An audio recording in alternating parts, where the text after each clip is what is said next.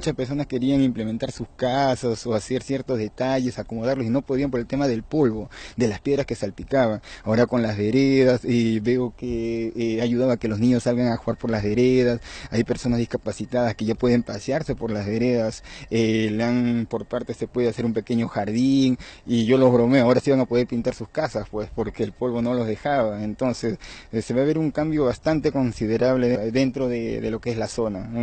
ya, ya hay incentivo para que cada uno um, arregle sus casas y sea mejor. Todo va a cambiar, todo va a cambiar, salud, la propiedad, eh, la facilidad de la movilidad, obviamente que va a haber mucho más, eh, las personas van a poder llegar más temprano a sus trabajos, van a pasar más tiempo con la familia, antes te morabas, que, no le miento, 20 minutos para llegar a Boral, 20, 25 minutos, ir y vuelta te lo hacías en casi 50 minutos, ahora no, ir y vuelta te lo vas a poder hacer en 20 minutos, con una velocidad apropiada, así es que todo, todo va a cambiar.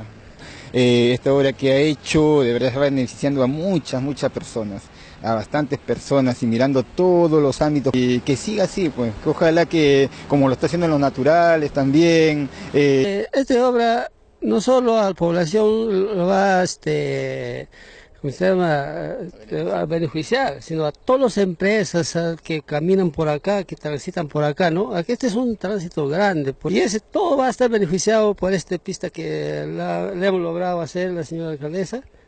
Por eso yo tengo un este, alegría por esta pista, no sé cómo podríamos este, agradecer a la señora alcaldesa, ¿no? Porque, porque ahorita ha dejado un recuerdo acá y, todo, para todos los pobladores ha dejado un recuerdo que nunca se va a olvidar, como un histórico. Yo pido más bendición para la señora alcaldesa y para todos los uh, que le siguen en su lado. 20 años hemos comido polvadera, ahora vamos a extrañar polvadera, pero gracias a Dios el señor Kobayashi ha puesto en esto un recuerdo, para ya estamos limpios todo.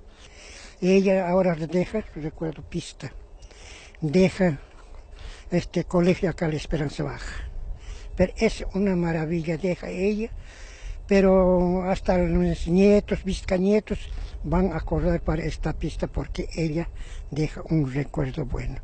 Ahora yo sé que cuando se va nosotros también vamos a soñar y el día de inauguración estaremos juntos también con ella. Eso vamos a estar haciendo así, así nomás mismo.